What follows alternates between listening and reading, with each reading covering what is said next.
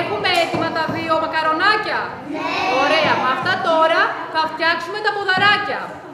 Κάθε ένα θα το πάρουμε και θα το διπλώσουμε. Θα το διπλώσουμε στη μέση.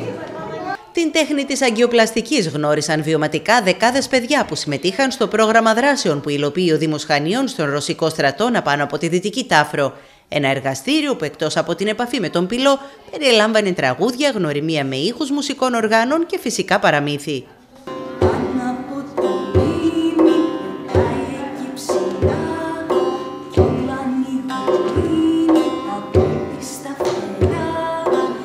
Ο Ρωσικός Στρατόνα, ένας χώρος ιστορικός, φιλοξενεί εδώ και πολύ καιρό δράσεις που αναδεικνύουν την παράδοση. Μια πλούσια παράδοση της Κρήτης, την άλλη πολιτιστική μας κληρονομιά. Οι δράσεις μουσικής, οι δράσεις ε, ζωγραφικής, οι δράσεις του χορού πλέον έχουν ε, κοινό μικρό. Μικρό σε ηλικία, αλλά μεγάλο σε καρδιά. Στόχος της Δημοτικής Αρχής είναι να αξιοποιήσει τον ανακατασκευασμένο Ρωσικό Στρατόνα, φιλοξενώντας δράσεις που αναδεικνύουν την παράδοση. Αποδέκτες για αυτή την περίοδο αποφασίστηκε να είναι τα παιδιά. Ξέρουμε πώς κάνουν οι μέλισσες.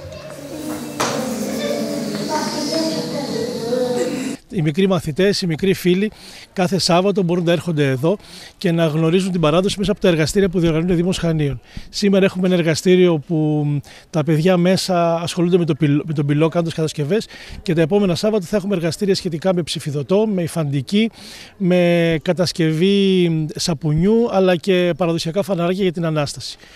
Απαραίτητες για τη συμμετοχή είναι οι προκρατήσεις θέσεων ηλεκτρονικά είτε μέσω του Γραφείου Πολιτισμού και Μουσικής Παιδείας. Τα παιδιά που συμμετέχουν κάθε φορά στα διαδραστικά εργαστήρια έχουν παράλληλα την ευκαιρία να γνωρίσουν μέσα από τη μόνιμη έκθεση φωτογραφίας του Ρωσικού στρατόνα τέχνες και επαγγέλματα του χθες.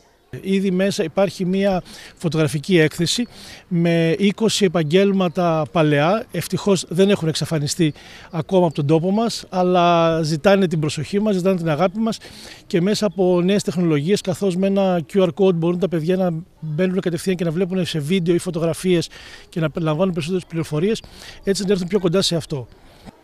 Πεπισμένα ότι τα παιδιά είναι οι καλύτεροι πρεσβευτές της παράδοσης, τα στελέχη του Δήμου Χανίων προτίθενται να συνεχίσουν τις δράσεις στον Ρωσικό στρατόνα και την καλοκαιρινή περίοδο.